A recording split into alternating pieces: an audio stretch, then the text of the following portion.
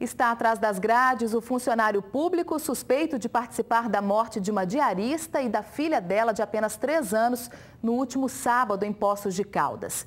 A prisão é temporária. Daqui a 30 dias, ele será interrogado de novo.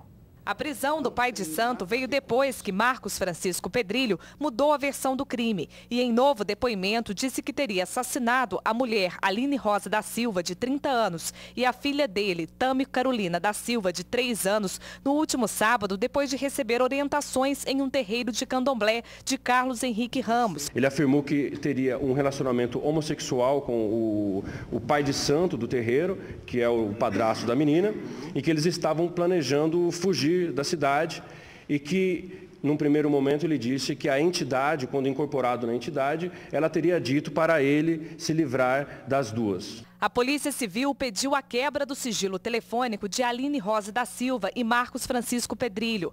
A intenção é saber se nas conversas entre ambos há indícios de que o crime foi premeditado e se houve a participação de Carlos Henrique. O delegado não descarta a hipótese de uma cariação entre os envolvidos.